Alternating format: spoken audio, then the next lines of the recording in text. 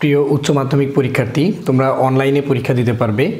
এই ভিডিওটির ডিসক্রিপশন বক্সে একটি প্রশ্নের লিঙ্ক দেওয়া আছে অনলাইনের তোমরা সেখানে অনলাইনে উত্তর করতে পারবে এবং তোমাদের ভুলগুলো তাৎক্ষণিকভাবে তোমরা কারেকশন করে নিতে পারবে। যতবার খুশি তোমরা ততবার এই পরীক্ষাটি দিতে পারবে। তো আমরা তিন নাম্বার চ্যাপ্টার থেকে আইসিটিতে পঁচিশটি প্রশ্ন দিয়েছি। এই পঁচিশটি প্রশ্ন তোমরা অনলাইনে পরীক্ষা দাও, তোমাদের অনুভূতি কেমন তোমরা জানাবে।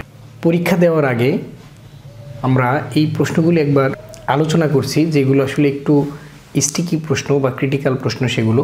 যে এক নম্বর প্রশ্নটি হলো হেক্সা ডিসিমেলের নয় এর পরের সংখ্যা কত? তো আমরা জানি হেক্সা ডিসিমেলের নয়ের পরের সংখ্যা হলো এ তারপরে সংখ্যা হলো বি তো নয়ের পরের সংখ্যা হলো এ দ্বিতীয় প্রশ্ন, বারো এর দুইয়ের পরিপূরক নির্ণয় করো। তো আমরা জানি যে দুইয়ের পরিপূরক নির্ণয় করতে হলে সেই সংখ্যাকে আগে বাইনারি করে নিতে হবে। তো তেমনি করে বারো এর বাইনারি হলো, আমরা লিখব এক, একের ডাবল দুই, দুইয়ের ডাবল চার, চারের ডাবল আট, আটের ডাবল ষোলো। ষোলো আমরা লিখতে পারব না, কারণ সংখ্যাটা ছিল বারো। এই জন্য বারোর নিচে থাকতে হবে। আটের সাথে কত যোগ করলে বারো হয়? আট আর চারে বারো, যাদের প্রয়োজন নাই তাদের নিচে জিরো লিখলাম। অর্থাৎ বারো এর binary one one zero zero তো এখন এই সংখ্যাকে আটটা সংখ্যায় রূপান্তর করে নিতে হবে। তাহলে এক, দুই, তিন, চার, পাঁচ, ছয়, সাত, আট। এখন এই সংখ্যাগুলোকে উল্টাতে হবে? অর্থাৎ উপরে জিরো থাকলে নিচে ওয়ান উপরে ওয়ান থাকলে নিচে জিরো লিখলাম। এখন নিচের যে অঙ্কটি পেয়েছি, নিচের যে লাইনটি পেয়েছি, এর সাথে আমাদের বাইনারি এক যোগ করতে হবে। এক আর একে যোগ করলে শূন্য, হাতে বসে এক। এক আর একে যোগ করলে শূন্য, হাতে বসে এক। শূন্যর সাথে এক যোগ করলে এক। তারপরে শূন্য, এক এক এক এক। এই হলো বারো এর দুইয়ের পরিপূরক। তো আমরা আমাদের উত্তরের মধ্যে এই সংখ্যাটি পাবো, যেটি হলো বারো এর দুইয়ের পরিপূরক। মাইনাস পাঁচের দুইয়ের পরিপূরক, মাইনাস পাঁচ। তো মাইনাস পাঁচের, অর্থাৎ পাঁচ, পাঁচের বাইনারি করতে হবে এক, একের ডাবল দুই, দুইয়ের ডাবল চার চার আর একে পাঁচ। ওয়ান জিরো ওয়ান হলো পাঁচের বাইনারি। এই অঙ্কটাকে আমরা আট বিটে করব। এক, দুই, তিন, চার, পাঁচ, ছয়, সাত, আট। এখন এই অঙ্কের নিচে আমরা উল্টা করব। অর্থাৎ উপরে জিরো থাকলে নিচে ওয়ান উপরে ওয়ান থাকলে নিচে জিরো এই অঙ্কের সাথে আমরা এক যোগ করব। শূন্য আর এক যোগ করলে এক এক, শূন্য, এক এক এক এক এক। লাস্ট থেকে চারটা অঙ্ক আছে আমাদের উদ্দীপকে, তাই এটি হলো মাইনাস পাঁচের দুইয়ের পরিপূরক। এখন বলছে ওয়ান এফ এর সাথে এক যোগ করলে যোগফল কত হবে? ওয়ান এফ এর সাথে আমরা এক যোগ করব। যোগ করলে তখন যোগফল কত হবে? আমরা এটা দেখার চেষ্টা করব। তো ওয়ান এফ এই সংখ্যাটা আছে হেক্সাডেসিমেলে তো যদি আমরা এই অঙ্কটাকে দশমিকে নিই, তাহলে এটা কত হবে? এক গুণ ষোলো, একটা অঙ্ক আছে, যোগ এফ এফ মানে পনেরো গুণ ষোলো, তারপর জিরো। তাহলে ষোলো একে ষোলো, কোনো কিছু পর জিরো মানে ওয়ান, তাহলে পনেরো ওয়ান গুণ করলে পনেরো। ষোলো আর পনেরো যোগ করলে থার্টি ওয়ান, এটি এটি দশমিক অঙ্ক। তাহলে এই অঙ্কের সাথে যদি আমরা এক যোগ করি, তাহলে আমাদের হবে বত্রিশ। বত্রিশকে যদি আমরা হেক্সাডেসিমেলে রূপান্তর করি, তাহলে ষোলো দিয়ে যদি আমরা ভাগ করি ষোলো দুগুণে বত্রিশ। হাতে কিছু থাকে না। ষোলো দিয়ে দুইকে ভাগ করা যায় না, দুই থেকে গেল। তাহলে টু জিরো টু জিরো। এটি হলো হেক্সাডেসিমেল নাম্বার তার মানে আসলে ওয়ান এফ ওয়ান এফ এর সাথে এক যোগ করলে হবে টু জিরো। যোগ করলে হবে টু জিরো। সেভেন, এইট, এটা ডেসিমেলে আছে, এর বিসিডি মান কত? সেভেন এইট এর বিসিডি মান আটকে যদি আমরা বাইনারিতে রূপান্তর করি, আট, এক এক, ডাবল দুই দুই, ডাবল চার চার, ডাবল আট, ওয়ান, জিরো জিরো জিরো। আমরা এখানে লিখলাম ওয়ান, জিরো জিরো জিরো। এরপরে সাতের বাইনারি, সাতের বাইনারিও আমরা এইভাবে বের করব। সাত, এক একের ডাবল দুই, আমরা রাপ খাতায় করছি এগুলো দুইয়ের ডাবল চার।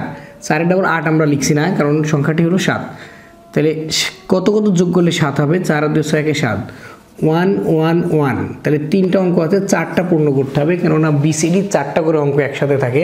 তাই সেভেন এইট ডেসিবেলের বিসিডি নাম্বার এটি। বিসিডি এর বিট কয়টি? বিট সংখ্যা কত? আমরা জানি বিসিডি অঙ্ক চারটা করে একসাথে থাকে। বুলিয়ান অ্যালজাব্রার মৌলিক উপপাদ্য। এখানে দেওয়া আছে A plus A not equal zero আসলে এ প্লাস এ নট মানে হলো কিন্তু ওয়ান এ প্লাস ওয়ান মানে এ দেওয়া সেটা হবে কি না তো আমরা এটা চাইলে রাপ করে দেখতে পারি, A plus one A plus one আমরা ধরে নিলাম এর মান ওয়ান ওয়ান প্লাস ওয়ানের মানে হলো ওয়ান তাহলে এখানে এ দেওয়া আছে, তাহলে হচ্ছে না। আমরা A plus one equal A equal to যদি আমরা বা জিরো ধরি জিরো প্লাস ওয়ান তাহলে কত হবে? ওয়ান তার মানে এটা কোনোভাবেই A plus one equal to A হয় না বড়জন ওয়ান হয়। তাই এটিও রাইট উত্তর নয়। আমরা এটি দেখে আসি। A plus zero equal zero ধরে নিলাম এ সমান জিরো তাহলে রেজাল্ট হলো zero A plus zero equal to zero এখন A plus zero equal to zero তার মানে আমাদের জিরো হলো। এখন ধরে নিলাম এ ইকুয়াল টু ওয়ান তো রেজাল্ট ওয়ান তাহলে কি এটা মেলে না। তার মানে এটা রাইট উত্তর নয়। এখন এটা আমরা টেস্ট করে দেখি। A plus A equal A A plus A equal A ধরে নিলাম A equal to zero plus zero A সমান আমরা জিরো ধরেছি, তাই পাশে জিরো হচ্ছে। আবার ধরে নিলাম এ সমান ওয়ান ওয়ান তাহলে one plus one equal one তাহলে আসলে এটি মিলে যাচ্ছে। এখন মৌলিক গেট নিয়ে একটু আলোচনা করতে হবে। মৌলিক গেট হলো তিনটি। একটা অর গেট অ্যান্ড গেট এবং নট গেট তো অরের ব্যাপারটি হলো এরকম। এ আর বি ইনপুট হলে এ অর বি হবে আউটপুট অ্যান্ড গেট এটা হলো অর এটা হলো এ এন ডি ডি অক্ষরের মতো আঁকতে হয় অ্যান্ড গেট এটি এ অ্যান্ড বি আর অপরটি আছে নট গেট এ ইনপুট হলে আউটপুট হবে এ নট একটি প্রশ্ন খুবই কমন সেটি হলো, কোন গেটের লজিক গেটের ইনপুট এবং আউটপুট সংখ্যা সমান? সেটি হলো নট গেটের এটি আমি বিভিন্ন বোর্ডে, বিভিন্ন কলেজের টেস্ট পরীক্ষায় প্রশ্নটা আসতে দেখেছি।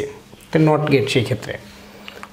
আরেকটি হলো সার্বজনীন গেট সার্বজনীন গেট হলো যেই গেট দিয়ে অন্য মৌলিক গেট বাস্তবায়ন করা যায়।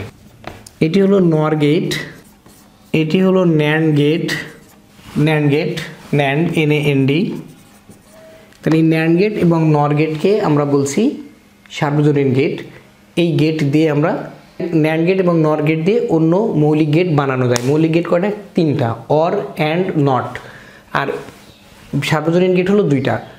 এটা হলো নর গেট আর একটা হলো ন্যান্ড গেট এখন বলছে এখানে প্লাস ফাইভ ভোল্ট এটা মানে কি? প্লাস ফাইভ ভোল্ট এর মানে হলো যে কম্পিউটার যখন প্লাস পাঁচ ভোল্টের সিগন্যাল পায়, তখন সে অন হয়। আর যখন এটা পায় না, তখন সে জিরো হয়। অর্থাৎ প্লাস পাঁচ ভোল্ট বলতে আমরা বুঝে থাকি ওয়ান বলতে আমরা ওয়ান বুঝে থাকি। হাফ অ্যাডার একটু ব্যাখ্যা করতে হবে, কারণ এখান থেকে অনেকগুলো প্রশ্ন আমরা দেখতে পাচ্ছি হাফ অ্যাডার থেকে।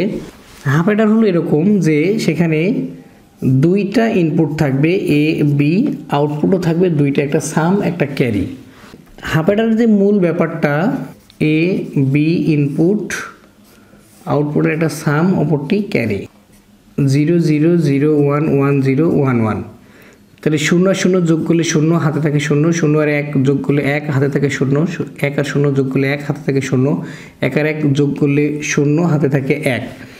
তো এই যে সাম যেটা, অর্থাৎ যোগফলের মান যেটা, এটা কোন গেটকে প্রতিনিধিত্ব করে?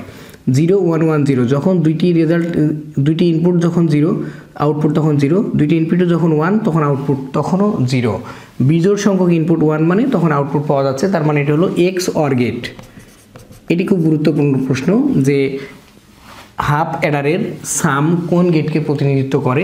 সামটি হলো এক্স অর গেটকে প্রতিনিধিত্ব করে। ক্যারি আউট অর্থাৎ ক্যারি কাকে প্রতিনিধিত্ব করে? যখন যে কোনো একটা ইনপুট জিরো হলে ফলাফল জিরো দুইটা ইনপুট হলে কেবল ওয়ান অর্থাৎ ক্যারি অ্যান্ড গেটকে প্রতিনিধিত্ব করে। তো অবজেক্টিভের এই টাইপের প্রশ্ন খুব গুরুত্বপূর্ণ হাফ অ্যাডারের ক্ষেত্রে। আরেকটা হলো এনকোডারের এই প্রশ্নটি আমরা দেখব যে এনকোডারে two to the power N সংখ্যক ইনপুট থাকলে আউটপুট হবে এন অর্থাৎ দুইয়ের পাওয়ার তিন। আটটা যদি ইনপুট হয়, তাহলে আউটপুট হবে তিনটা। দুইয়ের পাওয়ার চার মানে ষোলো। ষোলোটা যদি ইনপুট হয়, তাহলে আউটপুট হবে আউটপুট হবে চারটা। পাওয়ার যেটি, সেটি আউটপুট হবে ডিকোডার। ডিকোডার ঠিক তার উল্টা। আচ্ছা এনকোডার কী করে? মানুষের ভাষাকে যন্ত্রের ভাষায় রূপান্তর করে। এই ডিভাইসের নাম হলো এনকোডার। আর ডিকোডার হলো যন্ত্রের ভাষাকে মানুষের বোধগম্য ভাষায় রূপান্তর করে। তার নাম হলো ডিকোডার।